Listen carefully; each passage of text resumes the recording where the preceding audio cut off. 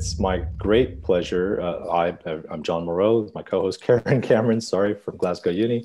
It's my great pleasure to, to introduce our speaker today, Professor John Lloyd from the University of Manchester, who probably needs no introduction, but um, well, here it goes for what it's worth. Uh, John's a professor of geomicrobiology and the director of the Williamson Research Center for Molecular Environmental Science at UMan. Um, and he's also a senior visiting fellow at the National Nuclear Laboratory, as well as our incoming president of the Mineralogical Society for Great Britain and Ireland. Um, John's worked for a long time on microbial metal reduction and mechanisms um, and the microbial physiology for that, for metal reduction. And he's published a heap of papers, more than 250 papers in high profile journals. Um, his career, I think, has uh, has inspired many geomicrobiologists, including my, myself. And I'm glad to know John more recently as a, a new friend, and uh, I think dare to say, sometime unwitting mentor in this in our profession. So. Uh, John has received many awards and honors, and uh, including the, the 2006 Geological Society of London Bigsby Medal, 2018 Schlumberger Medal of the Mineralogical Society, Great Britain and Ireland, in 2014, he was cited as one of the UK's top 100 practicing scientists. And in the, uh, from 2010 to 14, he was a Royal Society Industrial Fellow. More recently, 2015 to 2020, he was a, uh, awarded a Royal Society Wolfson Fellowship. And today um, he'll be talking to us about his, uh, his work in the subsurface microbiome, and we're quite excited to have him here with us today. Uh, so just before I turn over to you, John, I'll just remind everyone that we'll be recording today's lecture. Um, so if you'd like to keep your, your cameras and microphones off, uh, please do so. And um, happy to take questions in the chat or afterwards. So without anything further from me, thank you very much. And we'll turn it over to Professor John Lloyd. Th th thanks, John. Th thanks so much for those, those, those really kind words. And uh, yeah, th thanks to you and um, and, and Karen for organising these as well. I think I think they've they've, uh, they've been a fantastic um, distraction and resource for, for many of us through lockdown, and it's kept a lot of people going. So thanks thanks for doing that. And it, look, looking at the, the, the names and faces from um, uh, outside the UK as well, I think it's it's been a great outreach tool to you know um, reach out to, to, to, people from outside these shores. So so uh, so thanks for that, and, and also for MinSoc for, for hosting these. Um, right, so I, I need to share some slides. Let's uh, get these up and running.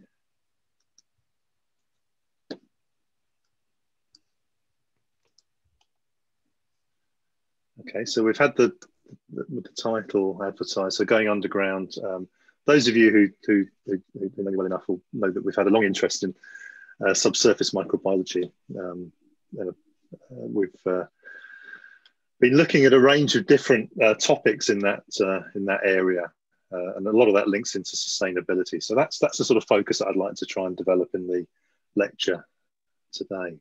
So I was going to start off. I know you're not all subsurface microbiologists. Um, so a quick introduction. Um, I hope not too patronising to, to, to, most of you on uh, microbes in the subsurface, uh, and and then it, just reminding us why um, the subsurface is is important. Um, in particular, in this case, for reaching our net zero uh, carbon emission targets. Uh, that, so that's really a review of uh, recent literature, um, just to get us all up to speed before I talk about some of the work that we've been involved with uh, in Manchester, working with, with, with, many other collaborating groups around water quality, nuclear waste management, bioremediation, circular economy, uh, metal processing, and, and e-tech elements, all of which I think feed into some degree to this sort of net zero drive that we, we're all uh, pushing for now. And then I, there's a bit of a rallying call at the end. I'd, I'd like to just share some information with you all about the opportunities. It's a great time to get into this area. We've got lots of techniques that are coming online that are available. And there's a lot of interest by various stakeholders, regulators, government to support work in this area. Uh, and, uh, and there's a lot of resources as well, um, which I'll talk about uh, around the subsurface, which, which I think we should all engage with. So I, I, thought I'd start with a nice picture as well. I often use this in, in my undergraduate teaching, just, just to remind us of what we're studying. You know, this, this fantastic uh, complex system that's driven by biology. I mean, it, it looks like this, and we, we can live here because of uh, microbial processes.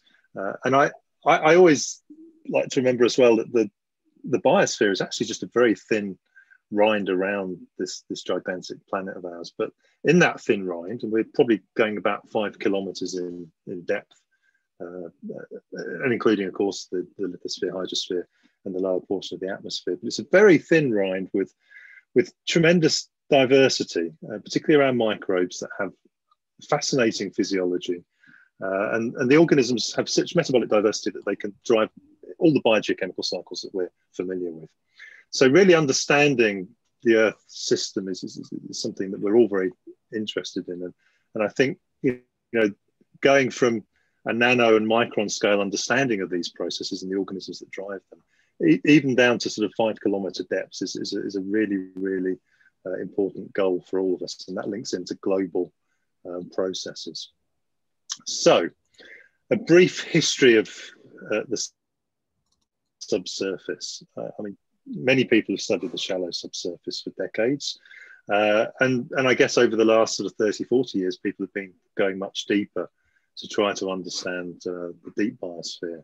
Uh, and we've had a, a, rich tradition of that in the UK. I mean, John Parkes, who many of you will know, uh, recently retired um, from the University of Cardiff, previously working in Bristol um, published some fantastic work uh, in this area, including the seminal paper in the uh, in the mid 90s, looking at um, the deep bacterial biosphere in Pacific Ocean sediments, and showing um, that you could you could pick up microbial life at significant abundance, uh, kilometers below um, the, the surface of the uh, Pacific Ocean and down, you know, more than a kilometer into uh, into, into the sediments below.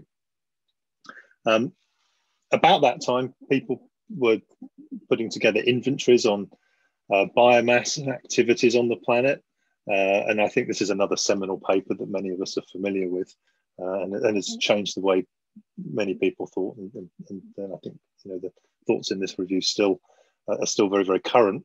Uh, so, you know, coining the phrase the unseen majority, the, the realization that microbial processes are, are, incredibly important. They're, they're not often obvious, uh, but they do have critical roles in controlling the chemistry of the planet. And, and they also do contribute um, significant amounts of carbon and biomass into, into the biosphere, even at depth and I, this has been revisited for many years. I mean, I, I, I, know the numbers in the, the Whitman paper that I've just shown you are often um, uh, revised and challenged, and, and, this is probably one of the most recent uh, updates, in, again in PNAS. Um, and I think this this this you know, gave a really nice picture, not not just on sort of you know reframing some of those numbers, but but also highlighting if you go down into the bottom panel here, you know, when you get down into the deep subsurface in particular, there's a huge reservoir of bacteria and archaea, um, obviously in the um, terrestrial and marine systems as well, but a huge amount of biomass that we, in all honesty, know very little about. Um, if we move on to the next slide, I mean, a lot of this information has come from marine systems, but you know, we, we really need to understand the, you know, the continental subsurface much better as well, um, particularly given some of the, the things that I'll talk about uh, with regard to our drive to net zero. The subsurface is going to be very important for us in the next uh, coming decades if we, if we, want to drop our carbon emissions. So this is a lovely review, which I think pulls together a lot of the research uh, in on the, the continental uh, drilling sites shown in this figure here. Um, again, some of the numbers are revised.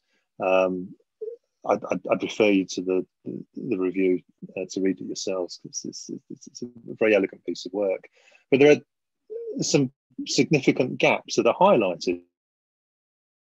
So, you know, there's a, a clear lack of detail around the carbon cycle at depth. Uh, there's significant questions about the energy sources, the turnover rates. Uh, you know, is hydrogen an important uh, driving force from a range of uh, geological and chemical reactions, serpentinization, water radiolysis, for example. The genome sequencing initiatives on, on deep subsurface samples are, are showing a, an incredible amount of diversity and hinting at syntrophy, role for fungi and viruses, And all of those things need fleshing out. And so there's a lot of fundamental questions about subsurface, but there are also applied questions as well. And that's what I'm going to move to um, in a minute. I would, I, I, was looking at the the uh, the, the, plan for the uh, uh, the, the seminars coming up, and there's some fantastic ones coming up. And I, one of uh, one of them that's coming up from James Bradley, I think, will pick up some of the themes around uh, energy and the subsurface. So I, I don't want to say any more uh, about that at the moment, but I'll just flag James's talk because I, I, think if you're interested in this area, you'll, you'll find that fascinating. He's been doing some excellent work in the area. Okay, so let, us talk about applications and, and, and why this is important. So if you go to the 2019 report from the Committee on Climate Change, um, there's a, a, bold ambition to have the UK net zero um, by 2050, and in, and some cities are, are, driving to do that quicker, which which is uh, you know the right thing to do, highly laudable.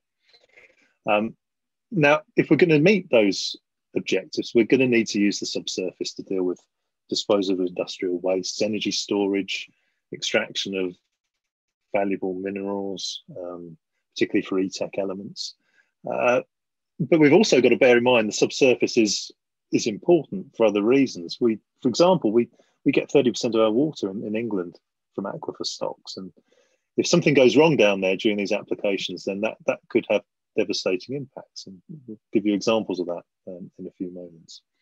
So, so it's a really, really important area for many reasons.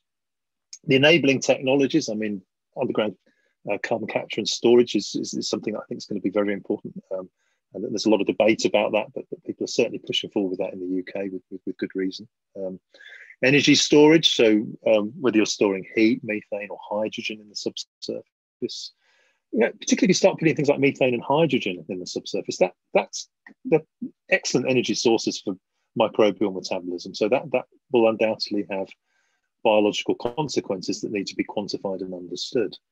Uh, even things like geothermal energy abstraction, you know, there's, there's potential um, biology around some of the infrastructure needed for, uh, you know, for, for, for, that sort of application.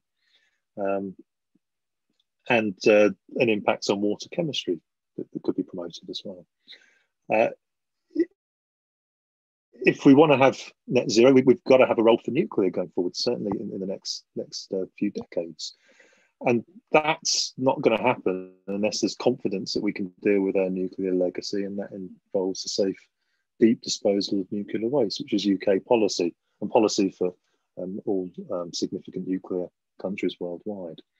Uh, and then, of course, you know, if you want to go into the subsurface to get things out, and that, that could be fracking for non-conventional gases. It doesn't look like that'll happen in the UK anytime soon, um, but it, it is happening in other parts of the world. Uh, and, and, maybe for in situ mining, if you want to get at reserves, you might not want a, a traditional mine. You might want to do, uh, you know, in situ mining using fracking type technologies to get at the metals uh, deep underground. So again, the, the, there's microbiology there that's probably going to be very important. So, so I think it's a, it's a, you know, it's a new frontier. We're at a, you know a, a, critical time in developing these technologies, and and we've got to make sure that geomicrobiology is is uh, is embedded in those plans because they could have a dramatic impact on the performance of some of these technologies. And this, uh, from a, a, a, recent review um, from Caboth et al., I, I, think gives a nice indication of the range of depths that we could be looking at. So, you know, that could include, uh, you know, the, the, the, deep biosphere if you're looking at uh, you know, methane hydrogen storage, obviously hydrocarbon production. There's, there's been microbial uh, uh, experts involved in that area for many years, um, but they, they haven't really started to work in, in, in these sorts of areas yet. Uh, and then if you go up to the sort of shallower um, subsurface, you've got um, you know geothermal systems, compressed air, energy storage, and of course uh, groundwater um, resources that need protecting so there's there's there's you know there's there's a, a clear um, need to understand really what's going to happen around the processes here, and in particular how microbes might be involved. So, what could go wrong when we perturb the subsurface? So, let's just stop and, and, look to see if there are any clues from from other processes, other times when we've changed groundwater hydrology and, and, and, chemistry dramatically, what the impacts have been. And the obvious one that jumps out to people uh, in the field is, is the, the problem around arsenic, um, termed the largest mass poisoning in history. Um, so in the latter parts of the last um, last century, there was a, a drive in, in, Southeast Asia, particularly Bangladesh, uh, initially to uh, go into the, the subsurface to collect water that was clean and pure uh, and not contaminated with surface pathogens, which, which um, was an issue with the, the, water that was being used at the time.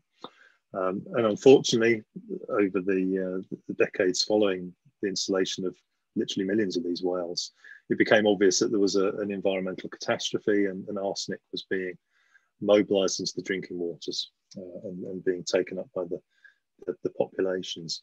Uh, it was originally picked up in um, you know, Bangladesh and, and Bengal, uh, but it's a it's a global problem. I mean, you look at the numbers here. This is a fairly old slide now from, from a review in the area. Uh, but in Bangladesh, 50 million people at risk. You know, India at least a million. Um, other Asian countries, uh, an issue in, in, Vietnam, Taiwan, China, Thailand, Nepal on this map. It's, it's a problem in parts of Europe.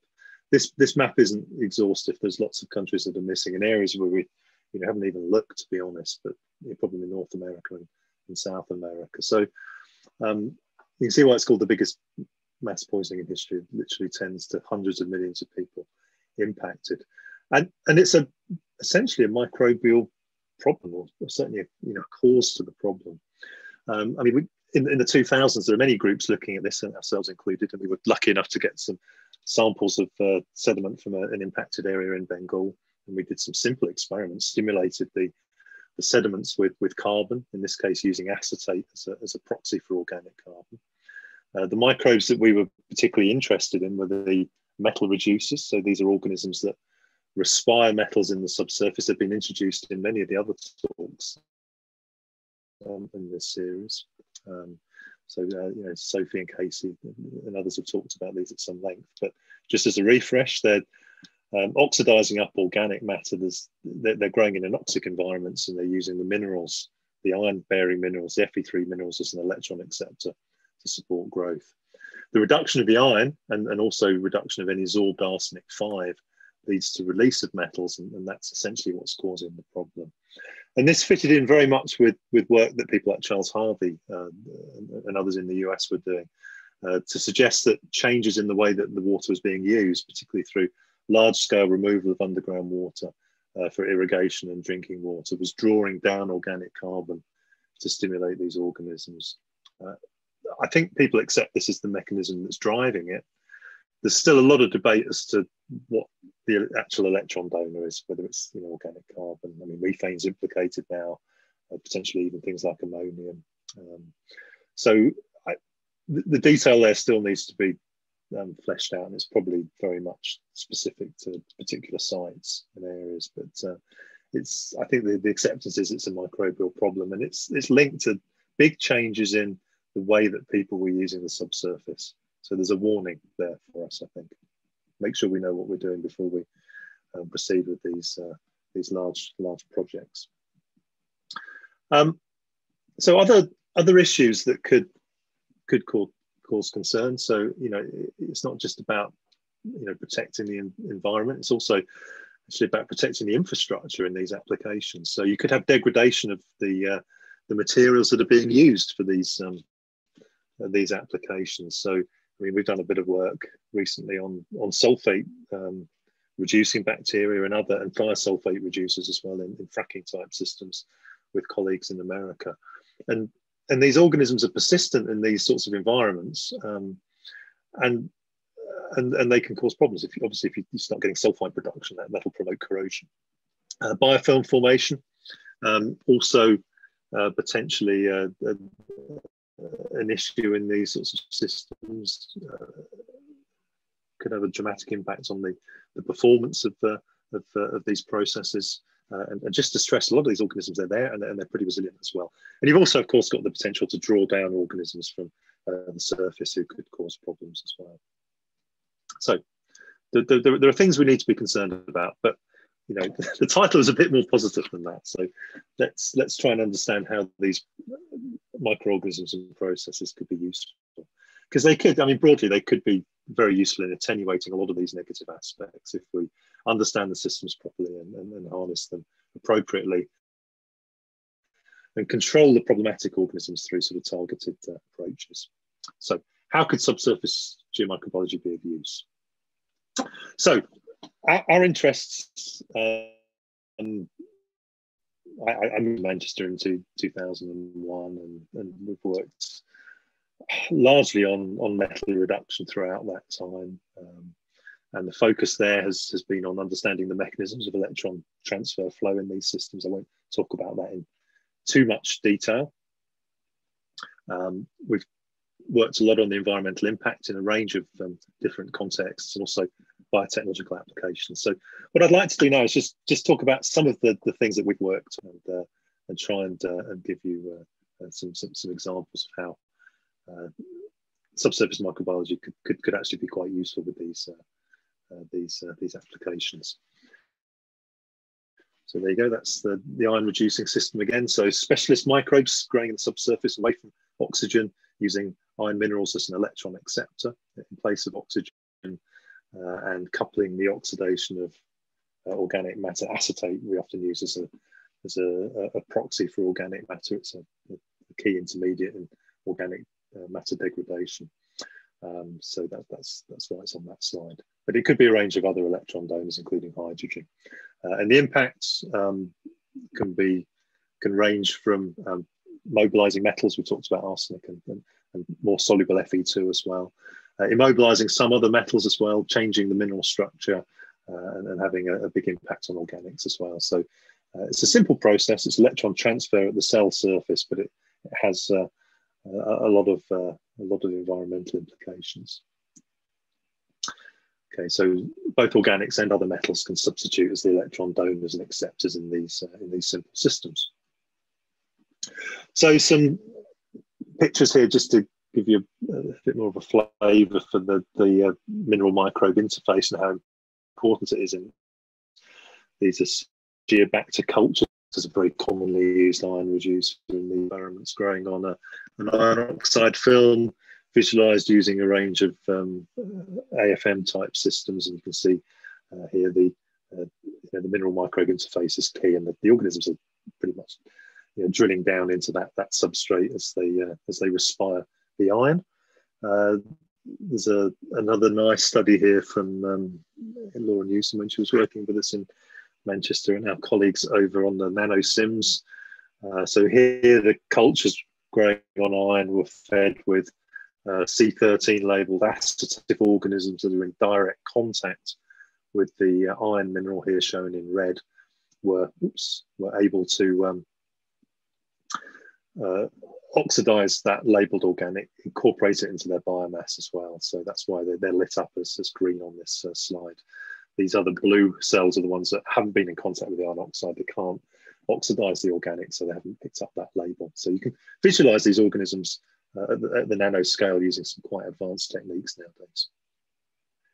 Um, this is just to emphasize that although they're iron reducers, they can also reduce manganese and a whole host of other metals. And uh, there's a range of different uh, metals that we've worked on from the transition metals out to the metalloids uh, and even these heavy elements in the nuclear context that we'll talk about uh, in, in, a few slides' time.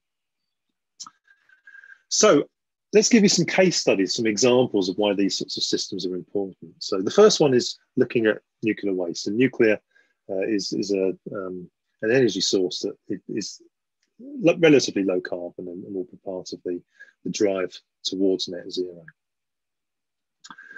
Now, interestingly, uh, a lot of the organisms that reduce iron can also use the same electron transfer pathways to reduce uranium, which would be present in groundwater uh, as soluble uranium 6.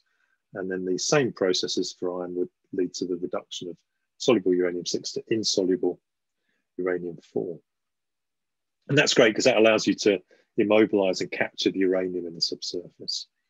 Uh, there's loads of organisms that can do this. Uh, this is from a, a, review that I'll show you in a minute, just to give you a, a feel for the, the, broad range of organisms that, that, are potentially involved, and geobacters in that, that mix, as is Shewanella, another well-known organism, but, but many other uh, metal reducers as well. We, we've worked on a range of sites in the UK. The first one we worked on with Mike Wilkins when he was doing his PhD with us um, was, uh, was the Drigg um, low-level waste repository up in Cumbria. And this is a, a nice example of the, the, sort of way that these microbial communities respond to carbon. Put a bit of carbon in, um, oops, and you'll see under anaerobic conditions, the ingrowth of Fe2 and the uranium levels will plummet um, very quickly because it's getting reduced and precipitated. And that's a, an enzymatic process driven by the same enzymes that are involved in, in iron reduction. This has been worked on at scale. Um, many of you will know the site. There's a, in particular a Colorado Rifle site where an injection array was drilled by Phil Long and, and, and colleagues um, as part of uh, the DOE program to stimulate the subsurface. And, and that acetate injection was very um, uh, was very effective in stimulating metal reducers, which then immobilized uranium uh, at that site. If you want to look at some of the work that came out of that site, have a look at this review. There's some really, really impressive work done on that site. Okay. Our own site we've worked on has been Sellafield in the UK.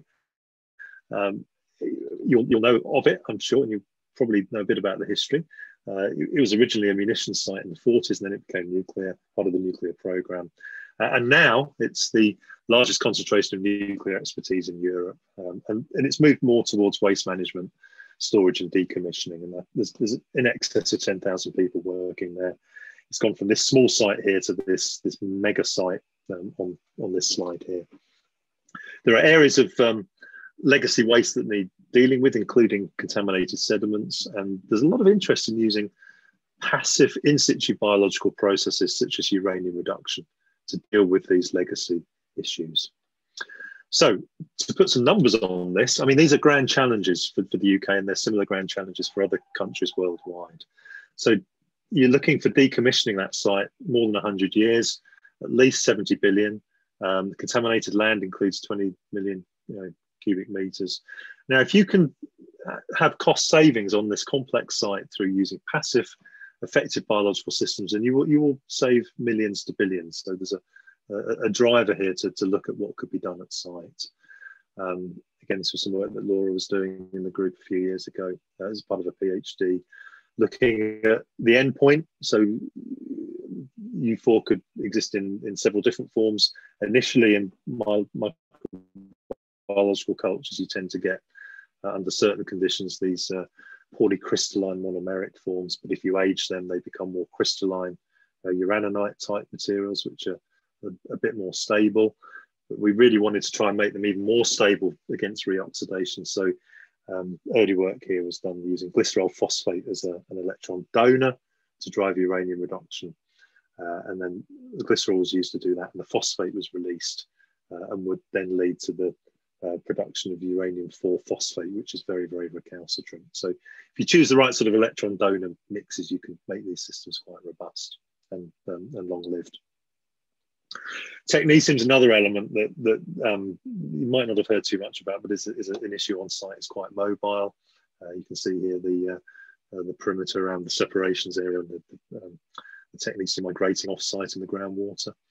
Um, we, we knew quite early on that iron reducers are particularly good at immobilizing technetium. They can do it enzymatically, but if they make iron 2 bearing minerals, for example, extracellular magnetite in this slide here, that um, that magnetite will reduce and immobilize the technetium very effectively.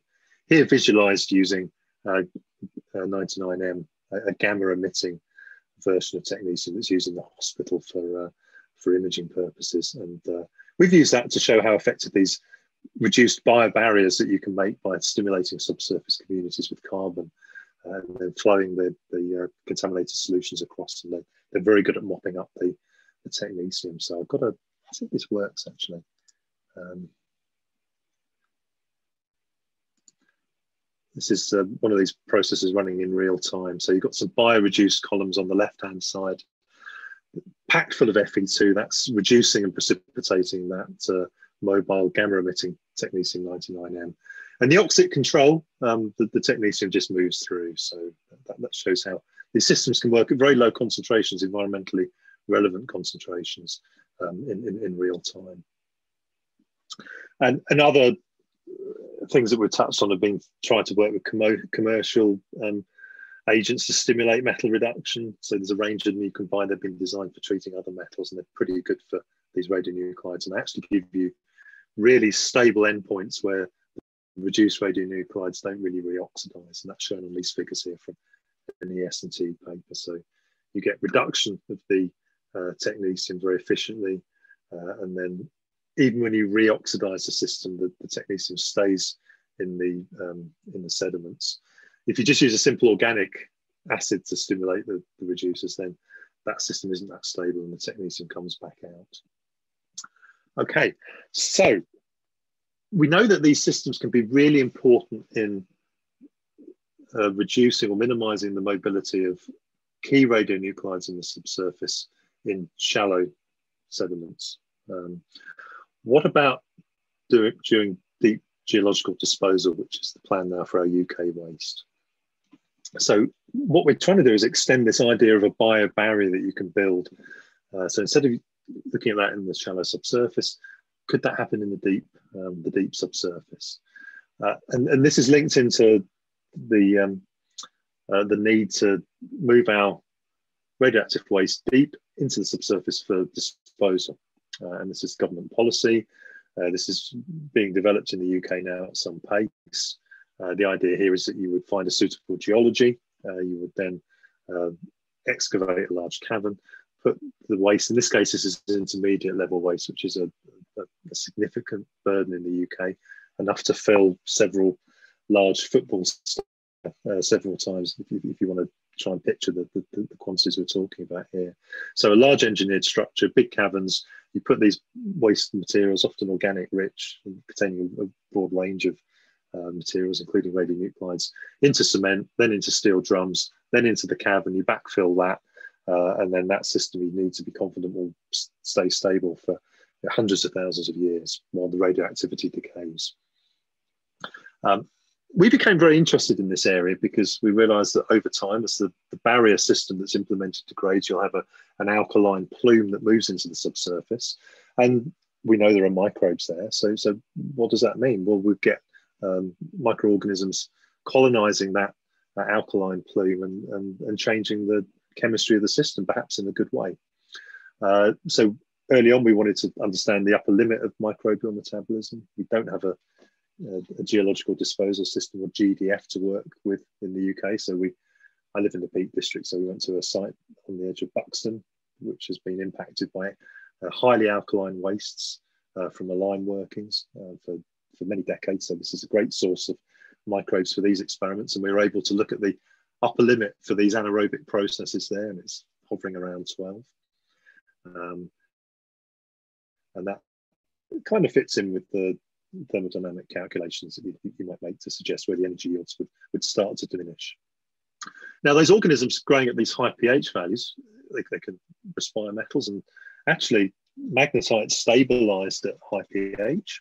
So uh, these these organisms, even at pH 10, 10 and a half, they, they very efficiently reduce the iron to, to make magnetite, which is a great scavenging agent for technetium, neptunium, and, and other radionuclides. And the organisms themselves will also reduce uranium. So you've got a, a, barrier system developing potentially that, that could mop up any of these priority radionuclides that are escaping from the geosphere.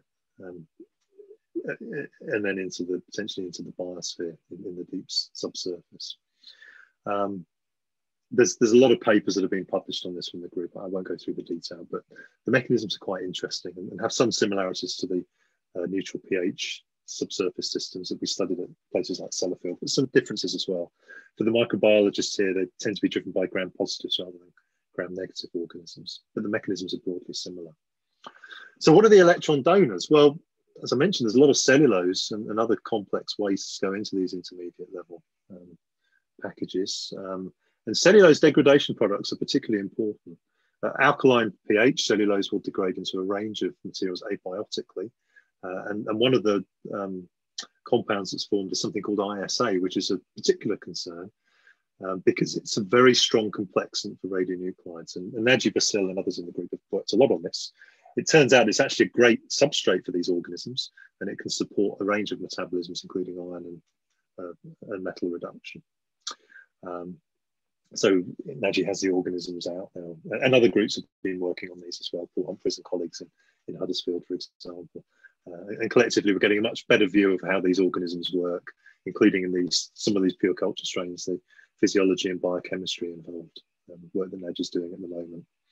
Gina Cooper's worked in the, the group as well recently, did her PhD with, um, with, with RWM, the sponsors for this work, and showed that ISA can support um, mineral transformations and the capture of, um, in this case, nickel uh, linked to iron reduction products and also uh, products of sulfate reduction in these systems. So um, iron sulfides, which could scavenge nickel, which is a, an activation uh, product that's of some concern in, in nuclear uh, waste uh, for disposal. Okay, a question that often comes up is, well, it's going to be intensely radioactive down there. That, that's going to keep the biomass down. Actually, I'm not sure that's true. Um, Ashley Brown working the group did some really nice work to show that when you irradiate some of these systems, you actually get enhanced iron reduction. And that's probably because you're um, freeing up more organics and, and, destabilizing some of the iron oxides and making them more bioavailable. And that's been followed up by other studies in the group where, for example, Naj has shown that you can really change the degradation fate of cellulose by irradiating it. And, uh, and that will stimulate microbial activities. Uh, and uh, and also Ash did some really nice work to show that you can start off with a, um, a crystalline form of iron that these organisms won't respire when you when it becomes irradiated. You get defects and it becomes more bioavailable. So you can prime both the organic and inorganic components of that reducing system to, to stimulate life. So on top of all these engineered barriers, you know, in time, you're probably going to get a biobarrier and that needs to be quantified so that we can understand really what that looks like in a G, GDF, geological disposal system safety case. Uh, and, and, this is a, a, book that we published from a, a large EU consortium uh, just a few months ago with a, a nice chapter on this biobarrier concept, showing the, this, the plume that might form around the uh, repository, mopping up gases like hydrogen and methane that could be formed that cause concern, breaking down chelating agents, and, and then ultimately immobilizing some of the radionuclides that people are very concerned about. So potentially good news in, in, in the subsurface for this system. Now, the last case study that I'll spend probably about 10 minutes on before we break for some questions is something a little bit different. So uh, we know there's a lot of interesting organisms in the subsurface. We, we've worked extensively, as have other groups on the iron reducers, but there are other uh, organisms in there that are, are, are pretty much un, un, uh, uncharacterized. And uh, I think there's just a huge resource there for biotechnology, particularly when you marry um, those organisms up with synthetic biology approaches to engineer novel processes. Um, so, one of the things we focused on is looking at the mineralogical endpoints of iron reduction and seeing how the things that you could form could be useful. So it could be a magnetic material like magnetite, which we've mentioned already, top right. Top left, you could have precious metals in there or platinum group metals. Um, and you know, even things like quantum dots could be formed through, uh, you know, selenide uh, formation from uh, the reduction of selenium oxyanions. And those, those are incredibly useful for a range of high-tech applications. Uh, this is work that Vicky Coker and others have done in the group over, over many years, optimizing the conversion of something like ferrihydrite to magnetite and, and, exploring the, the uses for that very fine grain magnetic material. That's included remediation agent for things like uh, chrome and technetium, driven by the Fe2 that's on the surface of the um, of the magnetite and, and has a very potent um, activity against these metals. When they're reduced down, they become incorporated into the mineral phase and recalcitrant to reoxidation and release. Um, Matt Watts um, did some work with us several years ago for his PhD looking at how this could actually be used. there's a local link here to Glasgow for John and Karen. Um, Glasgow's built on quite a lot of uh, chromite ore material in some places, so very difficult to treat, high pH. Um, and and this, this biomagnetite is actually a very good agent to, to clean up the sediments and uh, at, at, site.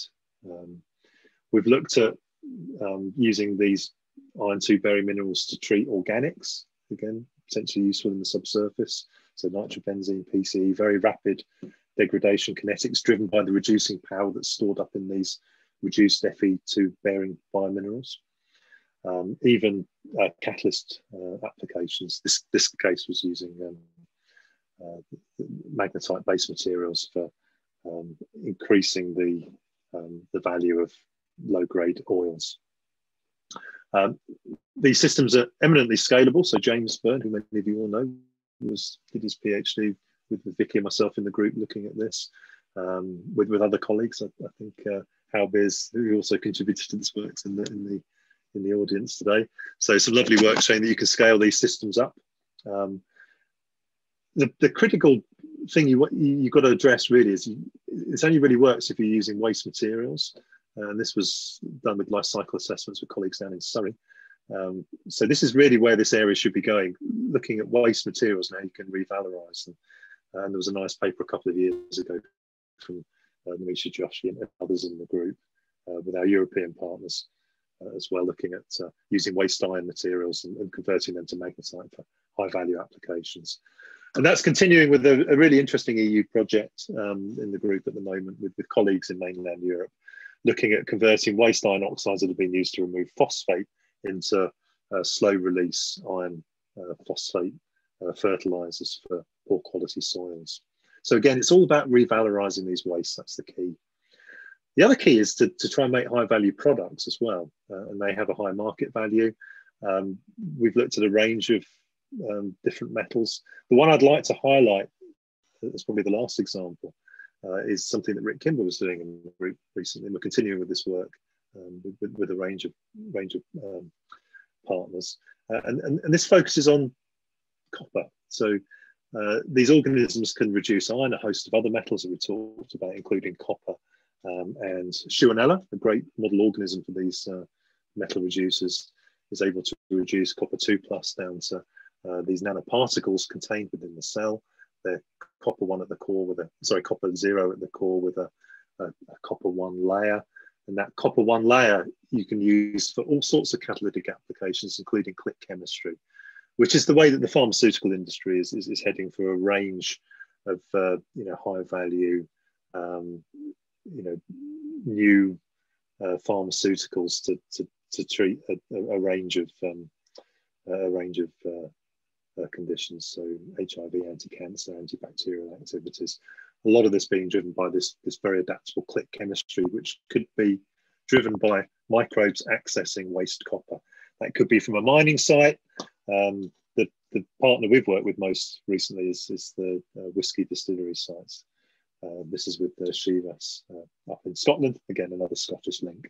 And there was quite a nice paper uh, in green chemistry talking about that, using both magnetite and, the, and the, potentially the organisms themselves that make the magnetite to capture the, the copper and then um, basically revalue it. So, where's this going? I mean, more and more exotic metals. These organisms from high oxidation state metals, including uh, precious metals and platinum group metals. So this was an early study using a, a, an innovation in TEM imaging. This is in a hydrated cell, which was amazing. So you can actually watch these um, minerals forming at the nanoscale in, in real time, certainly in the submicron scale. And then if you really want very high definition maps, you pull a vacuum onto these samples and then look at them using more conventional electron microscopy. But this shows um, a, nice mixed uh, metal nanoparticle with both um, gold and palladium that has some really interesting catalytic properties. And we've got a paper coming out on this and other hybrid materials with some industrial colleagues coming out very, very shortly. Um, and, and in the future, other metals. I mean, this, this has got to be a growth area. If we want to have a low carbon economy, if we want to have, you know, wind turbines, electric cars, uh, a lot of e-tech innovations we, are desperately short of, and, we'll, and we will become these will become limiting. A lot of the metals that are shown in this EU um, figure. These are the metals that were prioritised uh, in one of the science programs from the European Union. Um, and, and there's a lot of metals there that could be targeted via microbial metabolism and revalorized. So there's a huge amount of interest. Again, the UK got quite a lot of groups working on this. Uh, and there's a big driver, and the, the, research councils are supportive of this area. There's new centres around circular economy. So this is an area that I, think is a really good one for people to get into. And it's, um, you know, the, the science is fascinating as well if you if you like cross-disciplinary research. So I, I, hope I've left a few minutes for questions. I'll, I'll just do a few wrap-up conclusion points and then a little bit of plugging for some, some uh, sort of future opportunities. I hope I've convinced people that the subsurface contains an important reservoir of uncharted life. I think we all bought into that before this lecture anyway. Um, but I've highlighted a few of the questions, and I think these will be picked up in later um, seminars. Uh, there's a big question about how the microbiome in the surface will respond to these perturbations that we've introduced uh, as, as important for hitting net zero. So I think there's a lot of opportunities there. And I think there's a lot of opportunities around mining the, uh, the genetic resource in the subsurface for, for innovation. I've given you some examples of that already. Uh, it's a good time to get involved. Um, if you're interested in that metal area, look at the Metals in Biology uh, NIB, which is an industrial network, there to link you in with industry. Um, and they will give you proof of concept funding if you can find a partner to work with and, and, develop your ideas. So please, you know, look at the meetings that they hold as well. They're really good in this area. Uh, RWM are moving forward. They're the Rad Waste Disposal Agency, uh, moving forward with uh, working with local communities on site selection. And there's going to be a lot of opportunities around microbiology as they accelerate their program to get, you know, the big hole in the ground dug and the nuclear waste down there. And there's a research support office based in Manchester with Sheffield's involvement, which can help with that. So look for RSO uh, on a Google search if you're interested in that area. And then for the other energy areas, UK GEOS is, is, is, is barreling forward with some really great opportunities. And I'll say some more about that in a moment. And for those outside the UK who might be listening to this, um, the scope for international collaborations, which I know we're all very keen on. And, and just to remind you, this is the best time to be working in this area. Not only is it important science, but you know all the tools are falling into place. We've got tremendous innovations around omics and imaging and spectroscopy and modeling, coupled with sample availability. So you know, the, and often the sampling programs there's been a, a, step change. A lot of them now are including protocols for handling the samples correctly for microbiology. So there's lots, lots there to work with. I just wanted to finish off by flagging the UK GEOS because there's a 30 million pound investment um, from the UK government into this. It's being managed very skillfully by the British Geological Survey. There's three observatories at the moment. Have a look on their website. The Glasgow one's up and running, and that's looking at heat recovery from flooded mine workings and and microbiologists are, are trying to understand how microbes are adapting and changing the system there. The Cardiff Observatory has, come into this, um, this umbrella as well, looking at shallow geothermal uh, heat recovery and storage. And again, I think there are some micro, microbial projects there at the moment, and I'm sure there could be more. And the Cheshire Observatory, that's that's going ahead now. That's the uh, the last one that they're, they're starting to uh, develop this year again looking at sort of energy storage around an energy corridor, corridor in the uh, uh, in that part of Cheshire where there's a lot of industry uh, and there's a lot of opportunities there. So have a look at those and, and, and, if you're interested, you should be able to integrate into those research programs. Loads of people to thank. I mean, a long list of cross-disciplinary collaborators and researchers have contributed to this work and the funding. Um, the last slide I wanted to put up was just to emphasize how a lot of these things will be explored in later lectures. And I'm really looking forward to those. Um, and also MinSoc, I think it's been a great home for the Geomicro network and a special thanks to Kevin, who I know is here, um, uh, who uh, has been hugely supportive. And uh, I, have taken over the uh, president's role um, this month and, and, I'll be in place for a couple of years. Uh, and one of the things I'd like to do, we, we have a sort of presidential meeting um, uh, every you know, with every presidential cycle, and in December we'll be having one uh, around the microbe mineral interface through time and space. So looking at how that's been involved in evolutionary processes, all the way through to some of these applications that I've talked about today. So I hope people will come to that and you know and, and become involved in that meeting, and we'll be advertising that very soon. So with that, I think that's all I've got that I wanted to say today, and I'm very happy to take some questions and stay behind a bit later as well if that's if that's helpful, John. Great, thanks so much, John. That was a fantastic talk. Great recounting of uh, the journey your group's been on through a lot of these these uh, these areas dealing with radionuclide remediation and metal micro metal interactions. And thank you for that that talk. Could we call it your inauguration speech, as you're the incoming president? thank you. that sounds great. All right, so um, happy to turn uh, over to the audience for for questions. What are your questions, guys? and maybe Karen and I can take tag team watching the chat to make sure we try to pick up. uh, yeah, there's one yeah. in the chat yep. or some coming through in the chat. Sure.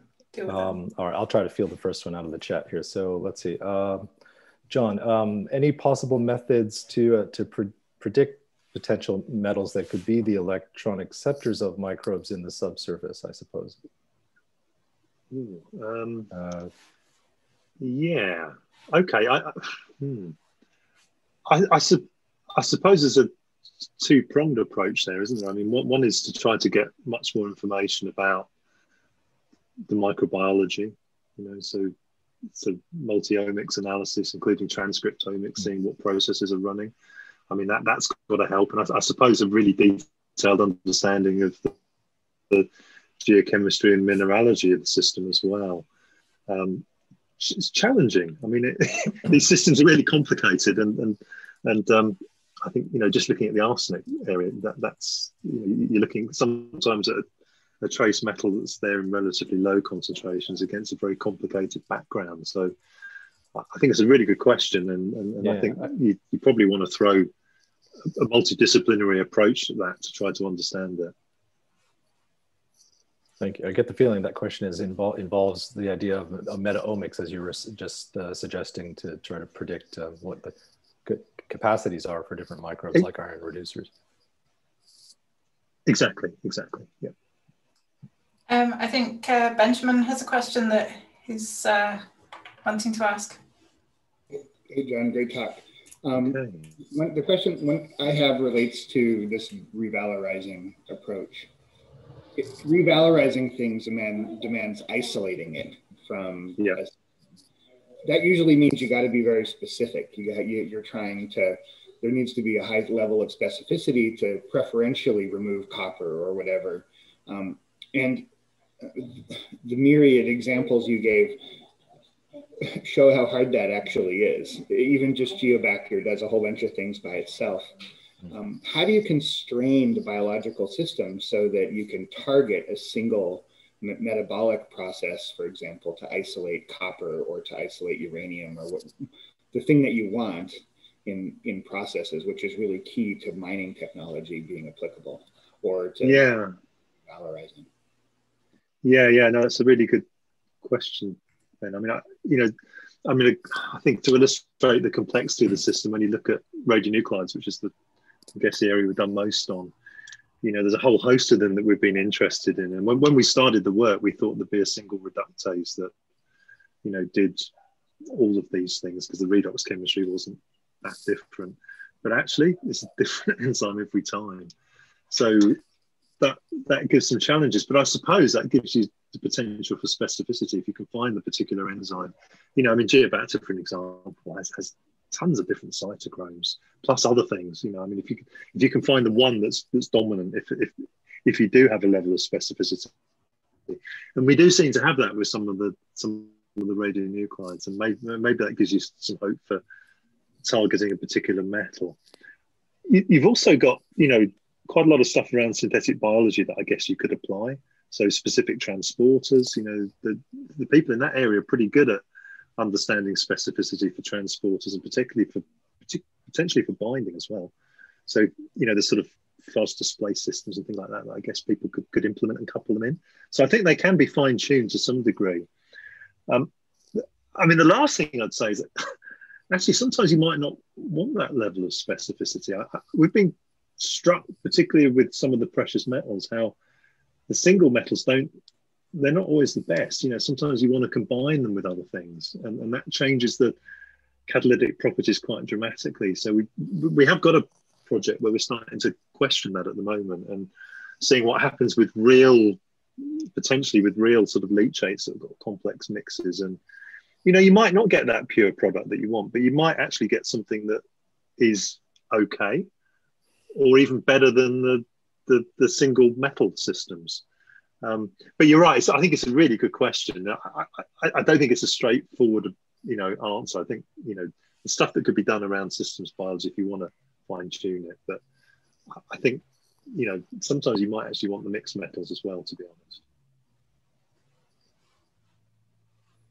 Um, John, I have a question about actually the copper and the uh, click chemistry idea. It's it's fascinating. I hadn't really heard about that or thought about that before. That's that's definitely an important emerging direction. I just I wondered about what about the sort of the reverse? Have has your group thought about or worked on using um, nano catalysts, bio, nano catalysts to degrade emerging contaminants, pharmaceuticals, and things like that? Yeah, yeah, yeah. No, absolutely. And I think that they're, they're, they're potentially pretty active against those.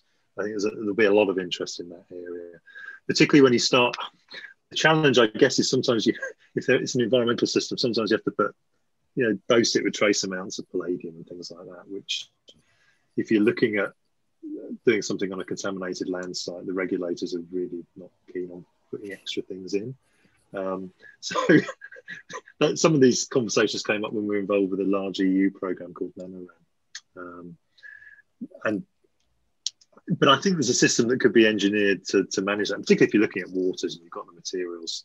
You know, I mean, a lot of those emerging contaminants you find in water supplies and things, don't you? So yeah, yeah. I don't think it's beyond the the imagination of a good engineer to, to contain those sorts of systems and come up with a robust system that would work. But yeah, I think that's a great idea to get into. Great area. Other questions? I, actually, I might ask one more if I could. Um, I just wondered, you, you, you, you guys have been working in the, in the area of radionuclide remediation for, for long enough now to probably seen some interesting changes with respect to geomicrobiology. I guess how, how you think about the application of geomicro to radionuclides or what challenges have emerged or I, I wonder if if you can talk a little bit about that like in your experience has how did you sort of start looking at the idea of microbes involved in radionuclide immobilization or remediation? And then where have you kind of come from there? Has it changed much? Um, yeah yeah it, it has. I mean i so my my background was in sort of more conventional biotechnology to be honest. And then i I, I worked with um, Lynne Macaskie, who some of you will know, in, in, in, the 90s when I started my postdoc work. And, and it was to work on um, a, a rather odd idea at the time try and find organisms that could reduce uranium, plutonium, neptunium. And um, it was funded by BNFL and, and, and government. It was, it, it, you know, it, it was it was wacky enough. I thought that'd be quite a fun thing to do, and I had a few people warn me against doing it. So there's, there's a reason nobody's doing that work. It's not been done before because it's a, you know, some, you know, it's not going to be important. Don't waste your time on that. So I, you know, I, I just thought it was kind of cool. You know, you're looking at substrates that organisms have never seen. Technetium was in there. You know, it doesn't exist naturally. You know, it's only it would only be there because we put it there. So you're looking at completely artificial elements. Um, and then when I got into it, I guess it, the timing was fantastic because DOE had started to pump money into the NABIR program. Um, the Genomes to Life program, which I guess was the first program, big program around environmental genomics, which I know, Johnny, you, you, were very familiar with from your, your time in the US. I mean, that, to be honest, they, they did a tremendous service to the geomicro community, and I think the environmental microbiology community in general. So these tremendous advances through through those programs, and a lot of that kind of focused on the work at the Rifle site that, that, that I mentioned. Um, so I think it put it on the map. You know, I mean, I in the UK then I I was working with some people in nuclear um, but uh, you know, unless you're starting to see published work and people are understanding it, and and, you, and you've got something to get a bit of traction with the engineers and the site license folks and things, it's very difficult to get going. But I, you know, then I did that secondment into um, the nuclear nuclear sector through the Royal Society Fellowship, which if anyone's looking for a, some a way to support some time in industry and you're an academic or, or going the other way, look at those. They're fantastic. And then, you know, once you get embedded into that community, then then they do start, you know, they, they start, you know, um, you know, absorbing those ideas and seeing seeing how important they could be. So I think things have changed. I think there's a lot of interest in it. In all honesty, I, I think a lot of it actually is around understanding the natural processes and tweaking them a little bit if you can. And really, I mean, for somewhere like Sellafield, a lot of it's kind of understanding natural attenuation as well and feeding in some of this information so they can understand what's happening at, at the site.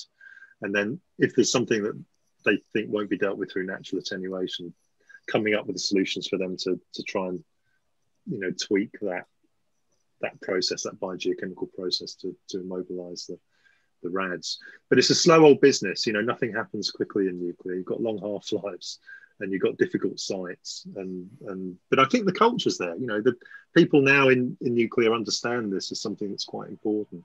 And you know the, the whole gdf thing you know that that that came really forward over the last i mean people have known about it they've talked about it but there's been a step change in understanding and and, and a realization that actually this could be important and it could be useful for them as well. So you know if, i had to sum sum it up i think for me the you know, the applications take a long time to work through, but there's been a change in culture, and the, the, I think the people in those industries are very accepting now that microbiological processes are important, and and those dialogue, the dialogue's much easier now, and the funding's in place to to help that work move forward. But it's a long job, you know. These these they're grand challenges. Those programs are going to run for decades, and I think it's about feeding in the microbiology at the appropriate time. But there's tons of opportunities, and it's mirrored in all those net zero areas as well. You know, you'll know from the UK GEOS, you know, they embedded microbiology in there early on, so they got people taking samples from microbiologists properly, you know, so that we can work with them.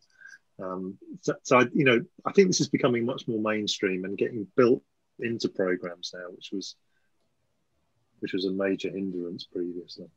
Yeah. That's great, John. Think if we can take on your experience as, I guess, a bit of advice to geomicrobiologists to, to be a bit bold in their thinking, creative and persistent, I guess, above all. And then, I guess, but that's probably a good good point to end on. so, well, thank you again for a great talk today, and, and thank everyone for turning out. And just a quick plug for a couple weeks, please come back to. Uh, to catch Dr. Ashish Malik from uh, Aberdeen University, who will be taking us from, I guess, the deeper subsurface back up to that uh, bio rind that you described early on in your, your talk, John, about the active uh, um, microbial community in the soils and carbon cycling. So um, please join us again in a couple weeks for Ashish's talk. And let's thank the speaker once again. Thank you very much, John, for, for speaking to us today. Thank you, everyone. Thanks. Thanks, John.